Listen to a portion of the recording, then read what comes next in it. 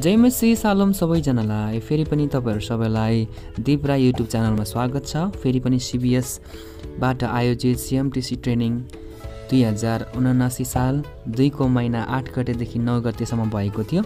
अनि पहिलो दिनमा चाहिँ हामी गयौँ लगभग दस बजे गयौँ। अनि त्यसपछि हामी गाडीमा चढ्यौँ जहाँ चाहिँ एकदमै प्याक थियो अनि रमाइलो पनि भयो। अनि हामी मिलन चोक भन्ने ठाउँमा पुग्यौँ। अनि गइसके पश्चात हामीले चर्चमा जाने निदो गरौँ चर्चभित्र जानुभन्दा अगाडि हामीले चाहिँ आफ्नो साथीभाइहरूलाई भेट गऱ्यौँ। अनि त्यसै गरी यो चाहिँ मिलन चोकको मिलन कम्युनिटी चर्च हो।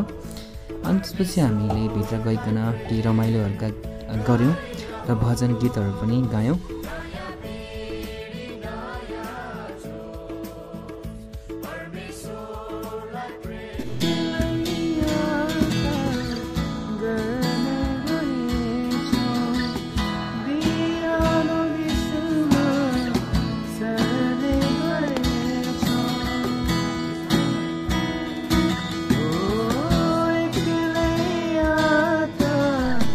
भजन गाइसकेपछि म बाहिर आएको थिएँ अनि जहाँबाट चाहिँ मैले यो मिलन चर्चको चर्च भवनलाई चाहिँ क्याप्चर गर्ने मौका पाएको थिएँ जहाँ चाहिँ एकदमै ब्राइट थियो सन पनि र त्यसले गर्दाखेरि चाहिँ एकदमै राम्रो देखिएको थियो।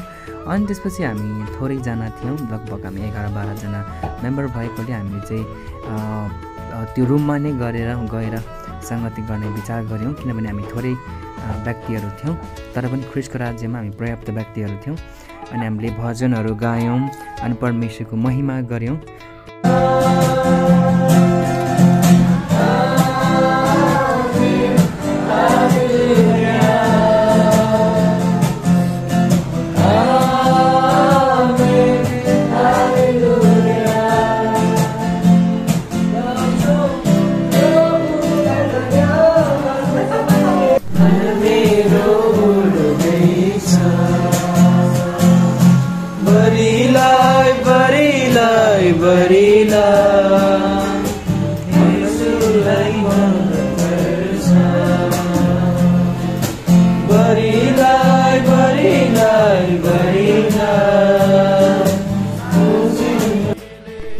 एकदमै रमाइलो भएको थियो र भजन गाउने क्रममा चाहिँ आउट अफ स्किल भएको थियो अनि प्लस गीतको लिरिक्स नआएको कारणले हामीले पुरा गाउन सकेनौँ र यो लाग यो चाहिँ यो पल चाहिँ हाम्रो लागि एकदम मेमोरेबल पल हुनेछ।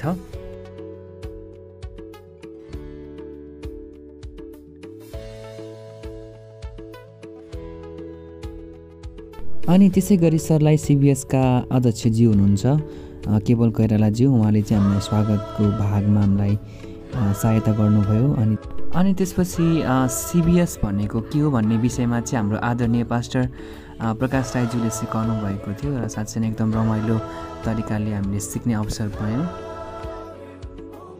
त्यसै गरी पहिलो सेसनको क्लासपछि हाम्रो खाजाको समय थियो अनि खाजाको समयमा चाहिँ हामीले नुडल्स चाउचाउ अनि त्यसै गरी भुजा खाएका थियौँ र चाउचाउको नाम चाहिँ लाली थियो।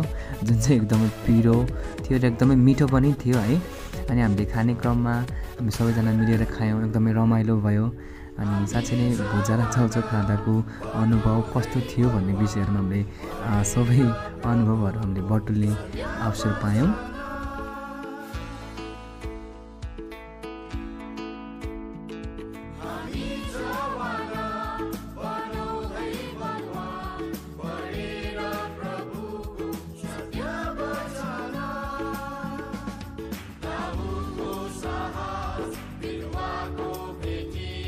र खाजाको समयपछि हामी फेरि दोस्रो सेसनमा सहभागी भयौँ। अनि दोस्रो सेसनमा चाहिँ सिएमटिसीका मेम्बरहरूको काम कर्तव्य के हो भन्ने विषयमा थियो। अनि जुन हामीले एकदम स्पष्टसम्म बुझेका छौँ। धेरै कुराहरू सिक्दै गर्दाखेरि एकदमै रमाइलो आशिषमय फिल भएको थियो हामी हरेकलाई।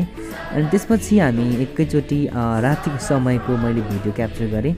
अनि हामीले खाना खाइसकेका थियौँ तब अनि हामी मिलेर भाँडा कुडाहरू माझ माझ्दै थियौँ र यो एकदमै रमाइलो पल थियो हाम्रो लागि। जुनकुरी बहिनी हो जुनकुरी बहिनी कस्तो लाग्दैछ तिमीलाई? कुकर ड्राइभर भएर।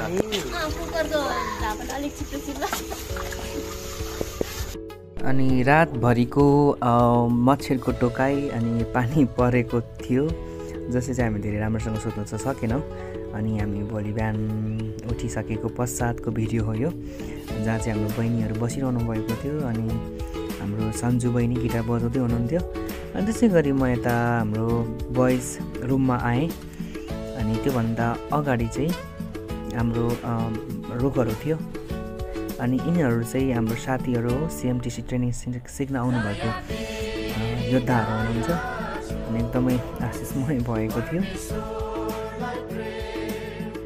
अनि त्यसपछि हामी तल झरेर खाजा खान लाग्यौँ अनि खाजामा चाहिँ चिउरा तरकारी फ्राई राइस थियो।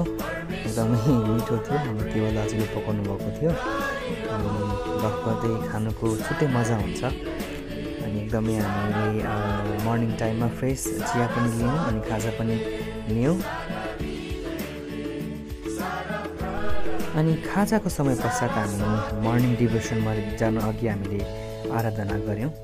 अनि साँच्चै नै प्रभुको आराधना गर्नु चाहिँ कति असल छ हाम्रो जीवनमा जसले चाहिँ हामीलाई हरेक दिन नयाँ बनाउने काम गर्दछ। अनि हामी आराधनामा रहँदै गर्दाखेरि हामीले प्रभुको उपस्थितिलाई थाहा पाएका थियौँ।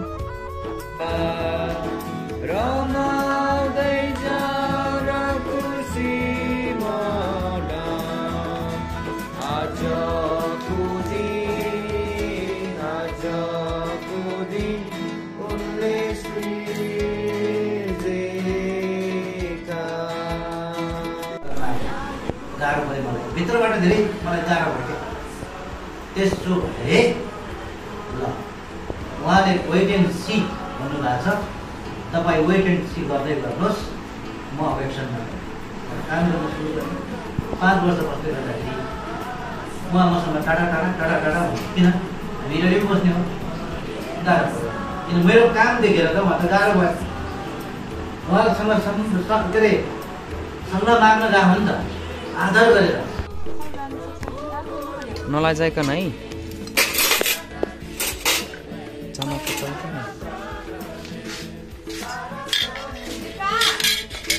दाल तरकारी ल हाम्रो आशिष प्रोले पुरै थाल लिएर तम तयार। ल ल मनिष आउन छिटो।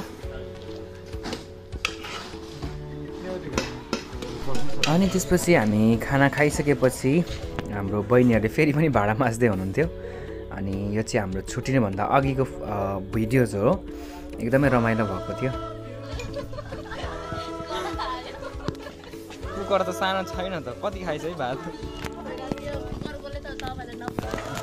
कुकर पनि ओए मनिष तिमी कुकरमा अट्छ अरे हो।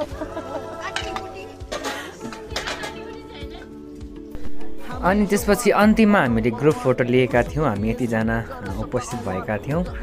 अनि साह्रै रमाइलो भयो अनि सबै श्रेय चाहिँ हाम्रो परमेश्वरलाई जाँदछ किनभने उहाँले हामीलाई सबै कुराहरूमा सहायता गर्नुभयो यो मौका अवसर जुटाइदिनु भएको लागि। अनि तपाईँहरूलाई पनि धन्यवाद यो समयसम्म भिडियो हेरिदिनु भयो माया गरिदिनु होला सबैले लाइक कमेन्ट सेयर अनि सब्सक्राइब गर्न नबिर्सिनु होला फेरि फेरि नयाँ भिडियो लिएर अवश्य आउनेछु।